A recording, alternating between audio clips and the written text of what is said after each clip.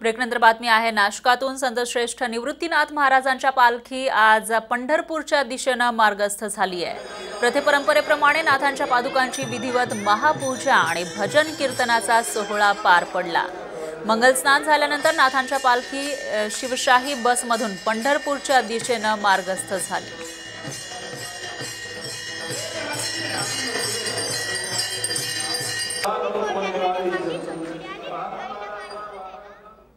तर आषाढी एकादशीनिमित्त मानाच्या पालख्या आज पंढरपूरकडे रवाना होत आहे संत मुक्ताई पालखीचं आज पहाटे चारच्या सुमारास शिवशाही बसनं पंढरपूरकडे प्रस्थान झालंय.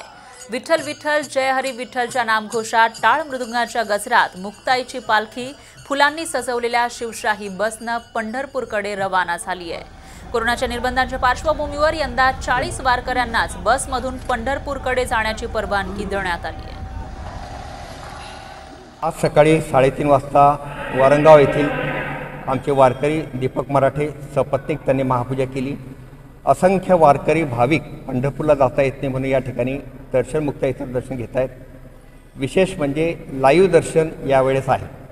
म्हणजे मलकापूरहून जर पालखी गेली तर मलकापूरच्या भाविकांना त्या ठिकाणी दर्शन होईल. विठ्ठलाचं दर्शन मुक्त इतर दर्शन लाईव्ह आम्ही देणार आहोत.